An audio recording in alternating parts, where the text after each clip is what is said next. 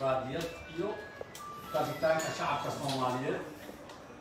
Markuu arkay in xukuumadda ku fashilintay ballanqaadkii ahaa kow diyaarinta hanaan iyo qorshe cad oo lagu gaarayo doorasho qof iyo xod ah sanadku labada kun iyo labaatanka labada kun kow iyo labaatanka.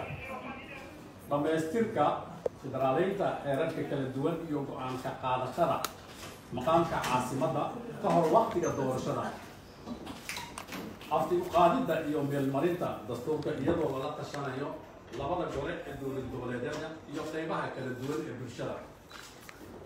Hirgelinta nidaamka axsaabta siyaasadeed si ay uga qeyb qaataan ama qeyb uga noqdaan doorashada dimuqraadiyeysan ee dalka ugana howlgalaan dalka oo dhan.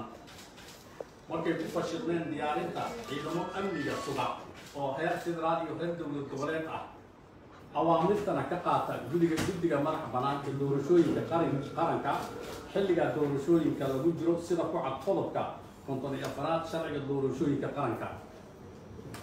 Diyaarinta qoondadii dhaqaale ee lagu qaban lahaa doorashada oo aan lagu soo darin miisaaniyadda labada kun iyo labaatanka.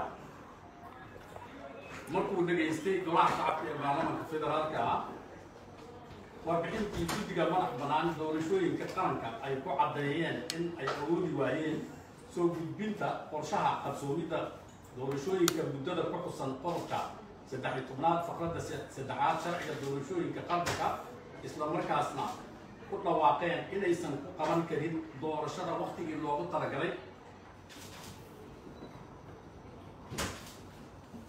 Sidaa daraaddeed guddoonka golaha shacabka wuxuu cod u qaaday kala noqoshada kalsoonida xukuumadda hadda jirta oo ra'iisul wasaare uu yahay xasan khayre baarlamankana sidaan ayuu codeeyey.